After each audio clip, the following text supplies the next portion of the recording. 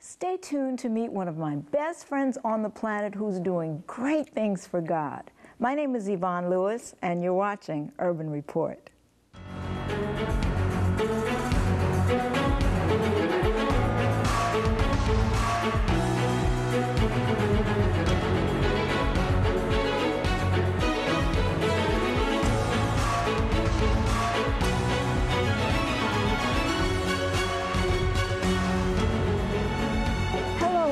Welcome to Urban Report. My guest today is Yolanda Palmer, singer, writer, producer, and one of my dearest friends. Welcome to Urban Report, Precious. you, so good to have you.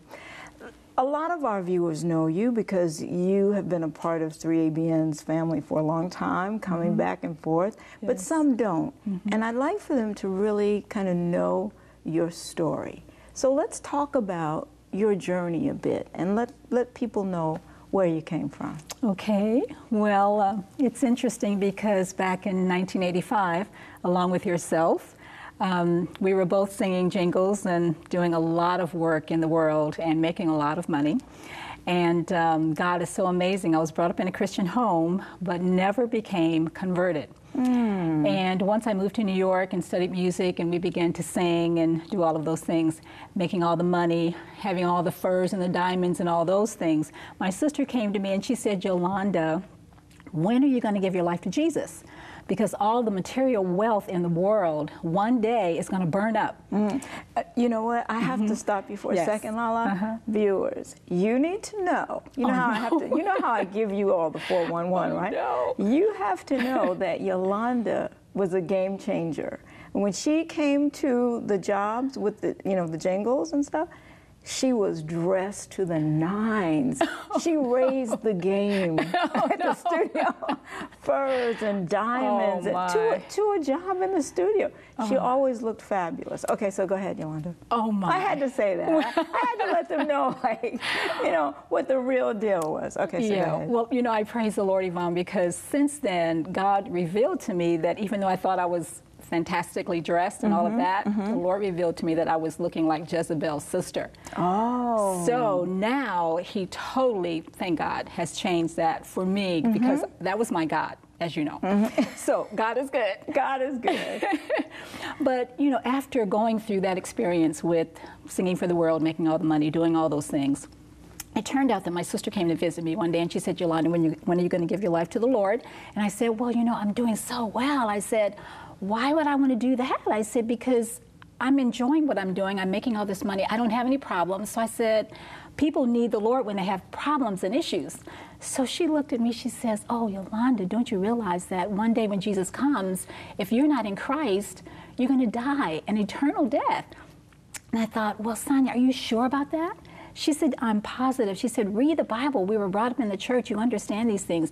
So I said, well, look, just pray for me if my life's ever threatened, um, that the Lord will give me a moment to say a prayer. And when we all get to heaven, I'll be there too. So you just kind of brushed it off a bit, feeling Yes. like that that salvation is for someone else, but not for you. That's right. When I get older, I told her, um, when I finish my life, you know, what I want to do now, I said, then I'll give my life to Jesus. And she said, Yolanda, the Bible says tomorrow is not promised to you. She said, give your life to the Lord now before it's too late. So I said, no, I said, Sonia, I'm, I'm really not ready to do that, but pray for me. And one day the Lord's going to call me to give my life to Him. So she prayed for me, Yvonne, thinking Yolanda will never give her life to the Lord. She's got all this material wealth and friends, and she's hanging out with, you know, people like Luther and and uh, singing with people like Michael Jackson and all these famous people. She'll never do it. And so um, about a month later, I was traveling on a plane, and um, as you know, we traveled and did all kinds of things. And so I was singing with Ashford and Simpson at the time. And while on the plane, it turns out it was three in the morning. The plane began to have turbulence because we had flown into a terrible storm. The stewardess woke everybody up with the flashlights and says, "Be prepared. We don't know what's going to happen, but be ready." And when she said, "Be ready," the Holy Spirit said, "You're not ready." Oh. And every time I think about it, I just want to choke up and cry because God is so merciful. He is. He is. And he heard my little prayer. And the plane leveled off. We flew safely to our destination. And that's when you and I met um, as Christian sisters, uh, or as sisters to say, you know, we better get ready. Because the Lord was dealing with me Yes. on the other end. Yes. You know, and I had started to come back to Him too because I had left the church for a while. I was raised as an Adventist and I had left the Yes. church for a while. Right. So when you came back mm-hmm. and your life had changed mm-hmm. and I had started reading the Word and started studying, we started studying together. Yes. It's so God is so good. Yes, w- So. Mm-hmm. many of our young people, and I, I, I call her Lala. So, so many of our young people, Lala, Mm-hmm. think that money and fame just give you everything. Yes. And what we found is that it's nothing. Mm-hmm. No. I'd never go back to Amen. that. Praise never. God. Amen. Because this is the abundant life. Yes, it is. And so, what you're saying, and, Mm-hmm. and what I know our viewers are hearing, is that that one prayer was pivotal Mm-hmm. Yes. in your life. Absolutely. Turned everything around, Mm-hmm. and from then on, you began to seek God in a whole new way. yes. Yes. What happened in your life when you made that decision? Well, what happened was I called my sister and I said, You won't believe it. I said, I think I'm a born again Christian because I feel different. I feel like I want the Lord. I want to know Him. And she says, Yes, did you pray? What did you do? And I said, Yeah, I just asked the Lord to come into my heart, forgive me for my sins, and if He would give me power to overcome the world and the things of the world, then I would give my life to Him and serve Him for the rest of my life. She said, You are born again. She said, The Lord heard that prayer. She said, Now just study, just read the Word of God, pray and ask Him what His will is for your life. Well, when I did that, I came back to New York from the other trip and I saw you at a session. And I said, Yvonne, you won't believe what happened. So I told you all about it, and you were like, Lala, this is amazing because your grandmother had called you to come to church, and Pastor C.A. Murray was the pastor. Exactly. Oh, I'm gonna chill. This And is so good. And then you said, Lola, come to church with me. Let's go to church together. And, Mm-hmm. and I said, Well, Yvonne, I said, okay. I said, but, and, and you said, okay, but there's one thing. And I said, well, what's that? You said, well, I go to church on the Sabbath. I said, well, I've been reading about that, but I didn't know black people went to church on the Sabbath. I thought it was just for the Jews. So you said, no, come and go to church with me. We have a new pastor. It's C.A. Murray, and you've got to hear him preach. So we started going to church together, but you kept going with me for a little while to the Sunday church because I said, if you go with me, I'll go with you. so we traded off, but then you kept like, okay, Yolanda, that's enough. Okay. May the Lord help you, you know, from here. And so we began to do the Friday night Bible studies. Oh, we need to tell them about that Yes. because that, for me, that was so amazing to have all of a lot of our friends would come. Yes. We would sing. We would read the word, Yes. and we had people from different doctrinal Right. they, uh, foundations. Yes. they were. They weren't Adventists necessarily, but they were all seeking. Yes. And we would come together and sing and pray and praise. To me, that was every Friday night. Every we had Friday a Bible night. study. Yes, it, it was awesome. phenomenal. Awesome. And, And we're not we're not talking about like last year. We're talking about in 1980, Right. 84, 85. Yes, yes. And I remember you invited Roberta Flack, and, and we had um, a lot of models there, and um, We did. actors and actresses, and some really good pastors came. John, um, what was his name? John, um, um, yeah. Uh, they would come in and, and study with us. John Nixon. Nixon. Yes. Nixon. So it was an amazing time. And so at that point, you know, you all prayed for me because I was going off to Uchee Pines and ended up at Uchee Pines. Okay, wait. you know, I'm not going to let you get away with that. Yes. So Yolanda decided that she was going to sell her her clothes because Mm-hmm. she wasn't going to take the same clothes to Uchee Pines. Yes. So she she had if you could have seen it, was like a store. Oh, I mean racks. know. You literally had racks of clothing. I know. You, I think I got a couple of pairs of boots.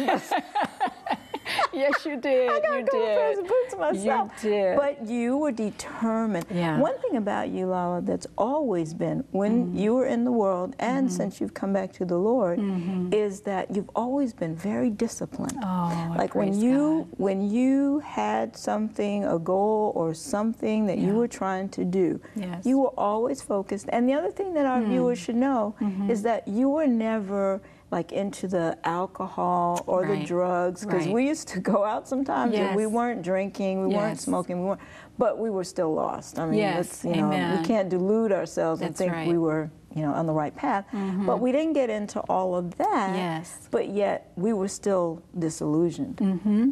So you sold all of your stuff. Yes, praise And God. and how did tell viewers how the industry reacted to your conversion? They thought I was crazy, okay? The people, my friends, my family, the people in the industry said, Yolanda, but we always thought you were a Christian. What do you mean you can't sing for um, Budweiser or Michelob or any of these things or wine or and I said, or Burger King even, because, you know, but anyway, God is so amazing because when they would say to me, What are you doing? You're selling everything and you don't dress like you used to. They said, You look dead. What have you done? And I said, Praise the Lord. I'm dead in Christ. And I'm yet I'm alive. And so that was that that was an incredible experience for me because the Lord told me, like the rich young ruler, go and sell all that you have and then follow me.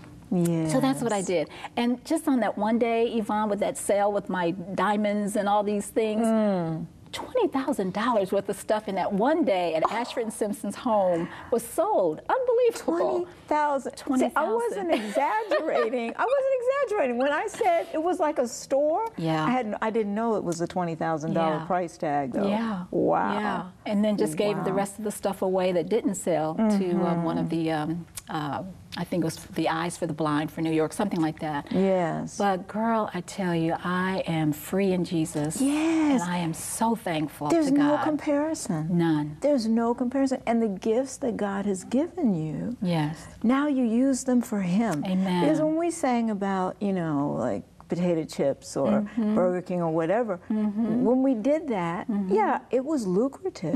Oh, yeah. But it didn't do anything for the spirit. Right, right. I mean, you go there, you go to work, you do it, you go, you leave, you get money. I mean, it, it- Yes. Mm-hmm. that part was really nice, but there was nothing about it that was so that was spiritually redemptive. right, right. And yes. Mm-hmm. so now to now come full circle and use your gifts for God. Yes. It, what I mean, there's nothing better. Oh, Nothing better. But let's talk a little bit about Uchee Pines. So Okay. you sold all your stuff. You went to Uchee Pines. What were you going there for? Well, to be honest, I was going there because a friend of mine, Judy and Todd, had told me there was a young man they wanted me to dance. I So, forgot. Yeah, you know okay. us. Uh, Oh, yeah, boy. I remember that. Yeah. I went there thinking, okay, God, it's been several years now. I've been in the church, and you know, um, okay, Time it's time to get married. Yes, Right, okay. amen. Right. And so I got there, and um, it wasn't God's will for me for for me to be with this person, but it was because He wanted me to be. He wanted to be my husband. Truly wanted to be my husband, man. So God did. God Uh-huh. did. So he showed me that. That's not why I brought you here. And he showed me the scripture. You know, the Lord, thy God, is your husband. And so I said, okay, Lord, I'm going to be content, but I can't stay here. I said, Lord, I'm from New York, you know, and from the Motor City. shock. Yeah, culture shock. And, you know, it was just amazing, Yvonne, because people had on suspenders and they would say, y'all, you know, we're so happy y'all are here. And I was like, Lord, no way.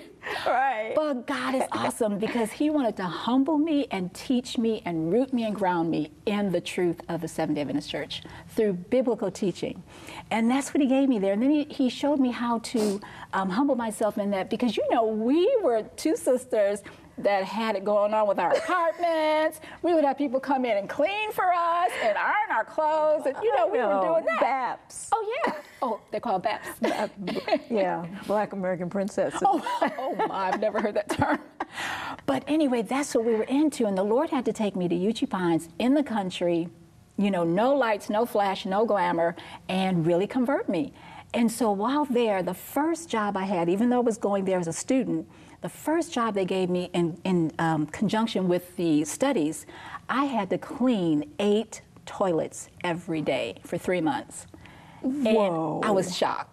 I was in shock. Whoa! I thought they you were went from the diamonds and furs to cleaning. Not that there's let's, let's be clear. Amen, Not that there's anything wrong with cleaning toilets, but we're just talking about the difference Yes. in what you had to do. Yes. It really was eye opening for you, It right? was eye opening, Yvonne, and it was such a wake up call and so humbling. And um, it gave me that servant attitude. You know, you're here to serve, not to be served, but to serve. And so when the Lord taught me these wonderful lessons of, of, of sacrifice and servitude and all these things that He wanted to teach me, how to love in Christ, you know, how to really be converted. Yes. Um, I was just so happy, so thankful, and um, and then I left Uchee Pines after uh, uh, you know studying there and studied the medical missionary work and and uh, all of that. which we're going to come back to that, which Okay. is so deep to me because see, God, even though you went down to Uchee Pines for one reason, yes, yes, amen. you learned the medical missionary work, Right. which is really a part of where you are now, which we'll talk about. Okay, so you left Uchee Pines. Right. You completed the program. I completed the program. You left Uchee Pines. Where did you go? I ended up back in New York. Okay. And um, at that point, I was trying to see, okay, God, what do you want me to do now? Um, you took me out of the jingle world. You separated me from the man I was going to marry, who was unfortunately not totally converted, and you helped me with that. Remember?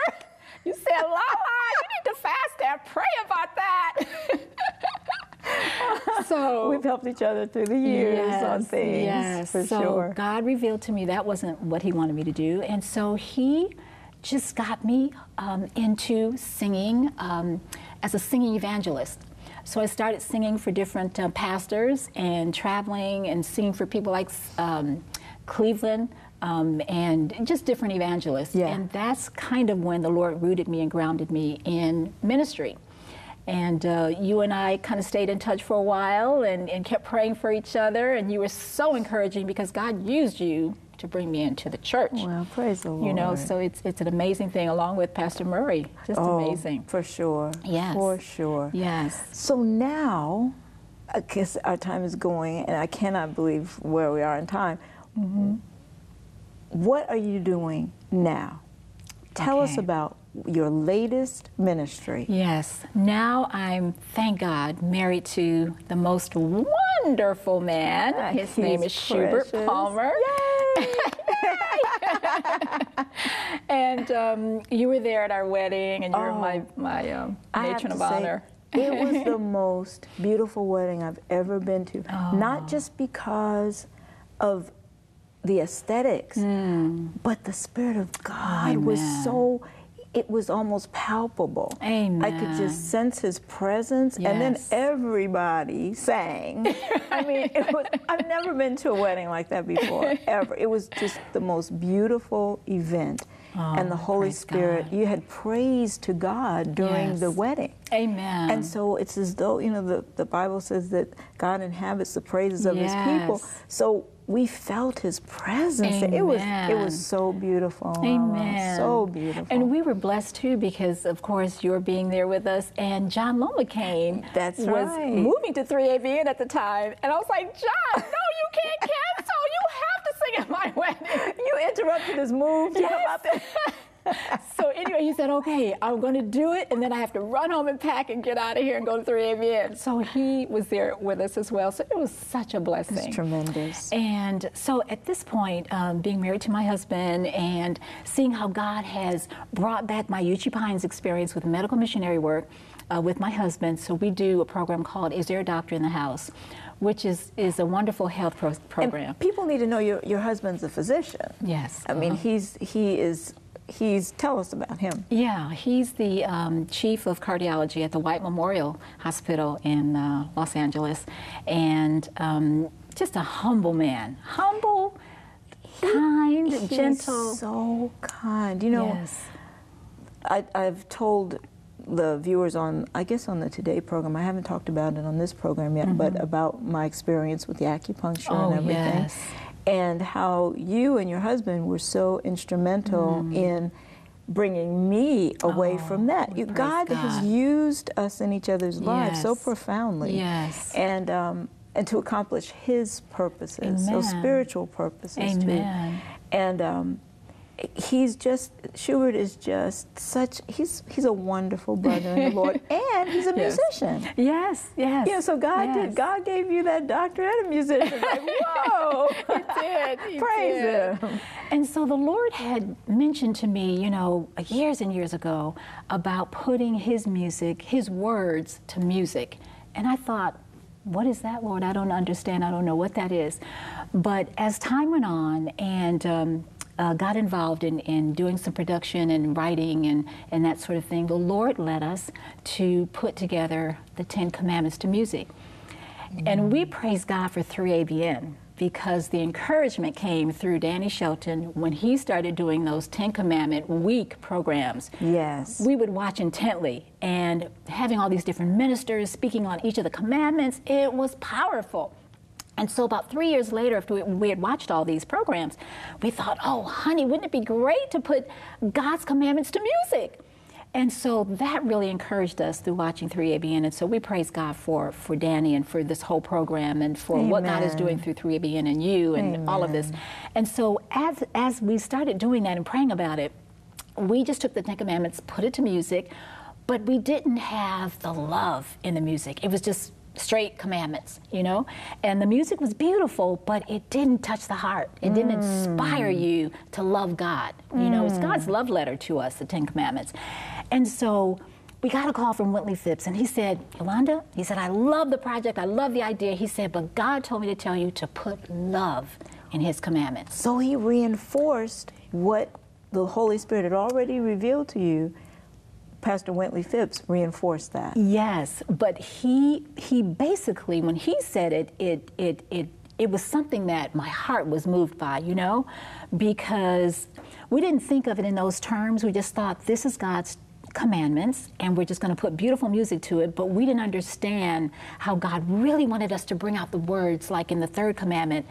The only time he mentions the word love in the commandments is in the third commandment. So God said, title the song Love Me.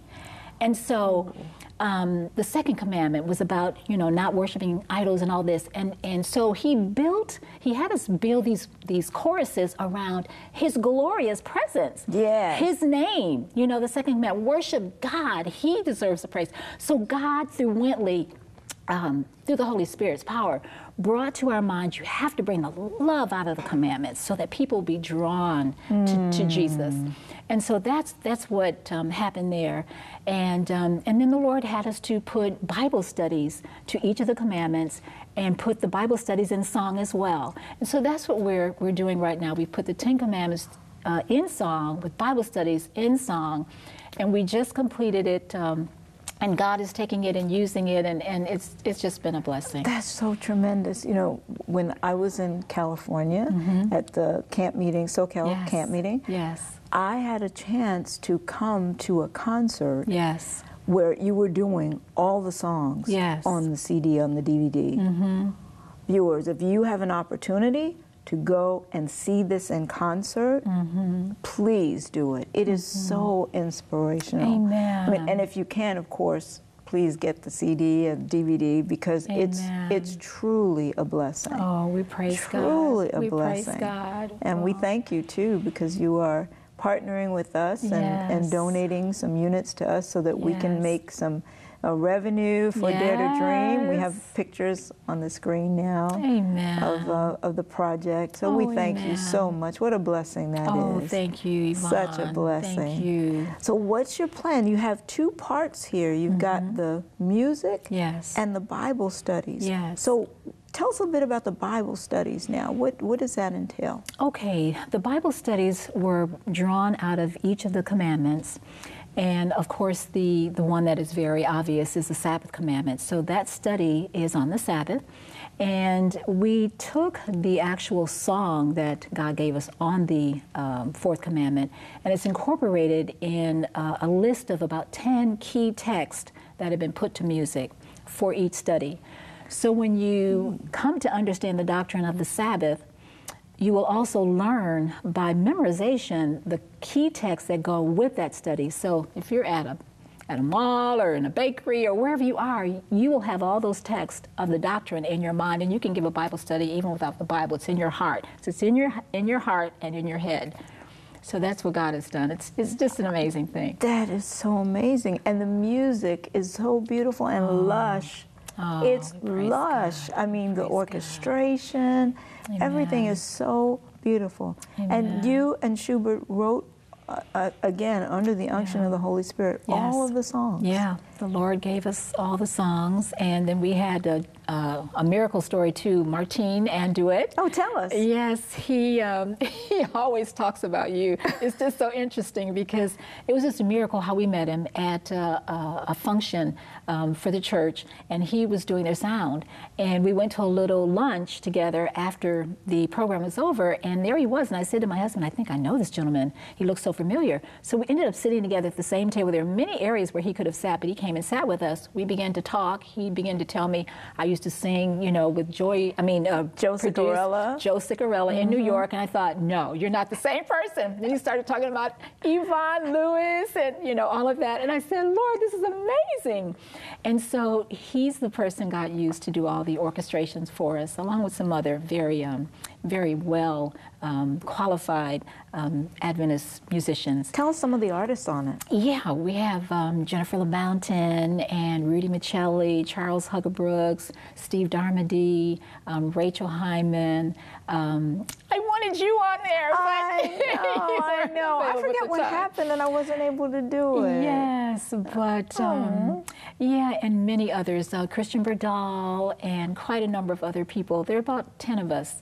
Um, Anita Sampson, oh, oh her Anika, voice. Oh. Anika Sampson, yes. And Javier, um, uh, I can't think of his last name right now, but uh-huh. um, so a lot of different singers uh, in the church are, uh, have participated, and, and we're just so blessed to have all of them. God has done a, an incredible thing. He has. Mm-hmm. He has, and again, His Spirit, you can just sense His Spirit when you amen. listen to the music. Oh, amen. You are such a blessing, and I'm so proud of what God oh. has been doing with you yes. and with um, the production, with Ready. Yes. And how can people Ready. find out more about this project? Well, it's going to be at the ABCs in the uh, Adventist Book Centers, and they can go on our website at uh, www.ready, R-E-A-D-Y, sda.org. Say so, it one more time. Uh huh. ReadySDA.org. Mm-hmm. ReadySDA.org. Yes. Thank you, sweetie. You're Thank welcome. you so much for being with us and for blessing us with your music and mm.